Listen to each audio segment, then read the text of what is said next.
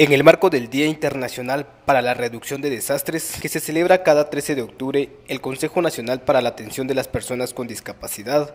realizó un simulacro de evacuación durante terremoto con la participación de personas con discapacidad. Según Jorge Luis López, técnico de incidencia política del CONADI, con la actividad se pretende que las personas de este sector puedan responder de forma adecuada ante un desastre natural. Estamos enfatizando ahora en la inclusión de personas con discapacidad en todos estos procesos, en todos los procesos de la gestión integral de riesgos, para que sepamos no solo las personas con discapacidad cómo este, responder ante una situación de este tipo, sino también que toda la sociedad, que las instituciones, el Estado, la iniciativa privada sepa que eh, la población con discapacidad debe ser, incluido, eh, debe ser incluida en todos los planes, en todas las guías, en los manuales relacionados a la prevención y a la preparación eh,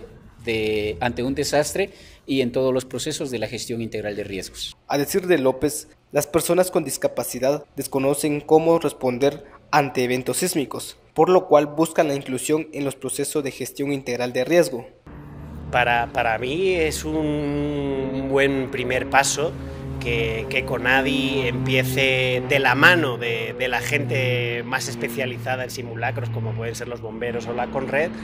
a realizar eh, simulacros con una buena asistencia el día de hoy. Ha habido presencia de, todas las discapacidades, ha estado personas sordas, personas ciegas, personas con discapacidad física y, realmente eso es lo que tenemos que hacer, favorecer la participación de todos, de todas, porque en un momento determinado todos y todas dentro de su discapacidad y dentro de su situación tienen que dar respuesta a cada situación.